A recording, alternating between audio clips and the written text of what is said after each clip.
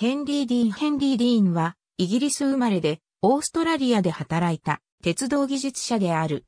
シドニーの路面電車のシステムや、ニューサウスウェールズ州のウールゲンバレーレールウェイや、トランスオーストラリア鉄道の建設で知られる。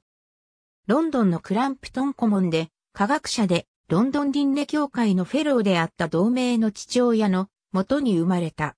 1852年にアイルランドのゴールウェイのオーウェンカレッジに入学し、1865年に数学と自然科学の学位を得た。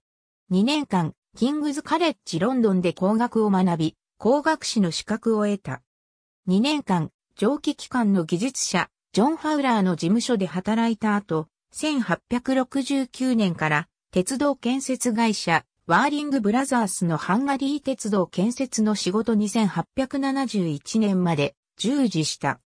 その後ハンガリーの船舶会社で造船の技術者として働き、1875年にイギリスに戻り、建設業や測量技師として働いた。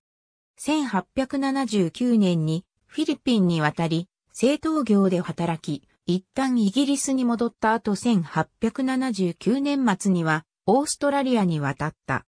オーストラリアでは多くの鉄道の建設に関わり、各国の軽便鉄道を視察し、エンジニアとしてシドニーの路面電車のシステムや低コスト化のための標準作成などに指導的役割を果たした。土木工学会やいくつかのオーストラリアの学会の会員を務め、ニューサウスウェールズ王立協会の会長を2度務めた。ニューサウスウェールズリンネ協会の会長も2年間務めた。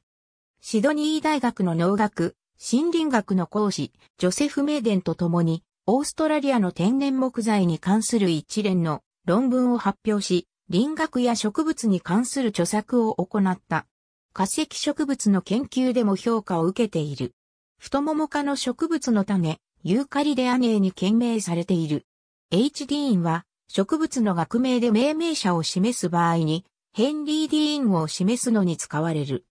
ありがとうございます。